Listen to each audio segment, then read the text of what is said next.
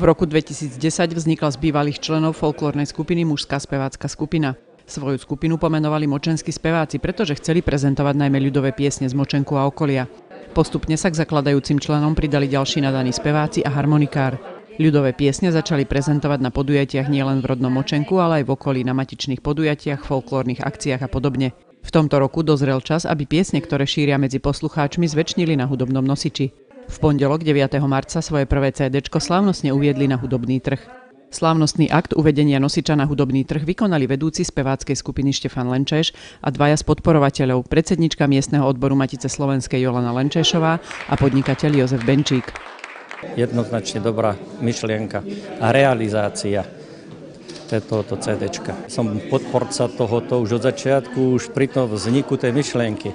Už ma to inšpirovalo, aby som vedel pokračovať ešte aj do druhého CD. Vždy poteší takýto počin, e, vydanie CD s, s piesňami z najbližšieho regiónu. Myslím si, že táto cesta na zachovanie tradi- tradičnej kultúry a zvykov vedie práve tadiaľto. A skutočne vďaka aj obci, podporovaniu a tak ďalej, vďaka obetavým spevákom v prvom rade. K vydaniu nosiča členom skupiny zablahoželalo aj vedenie obce a ostatných hostí a podporovatelia, ktorí prijali pozvanie na uvádzanie CD na hudobný trh.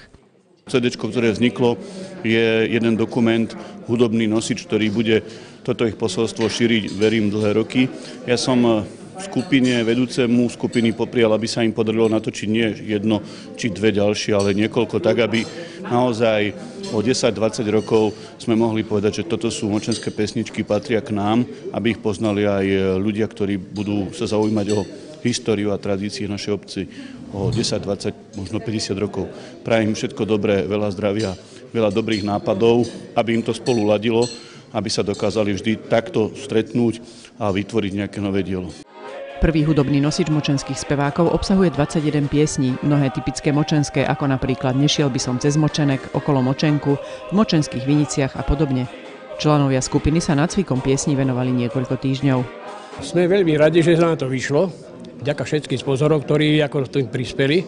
A teda ďaká aj teda tejto našej skupine, ktorí ako si trávili sme tu celé noci koľko a teda dlhé hodiny a teda boli aj chlapci, takže si vybrali si aj voľná, dovolenky a vyvíjali si smery. To CD sme robili samozrejme vec, že pre našu obec, aby niečo po nás zostalo. Nový hudobný nosič s názvom Na zdraví 2015 sa tak zaradil k dvom CD nosičom dýchovej hudby Močenská kapela a k dvom CD nosičom ženského speváckého zboru Kantika, aby mohli spoločne reprezentovať kultúru našej obce a talenty jej obyvateľov v širokom okolí.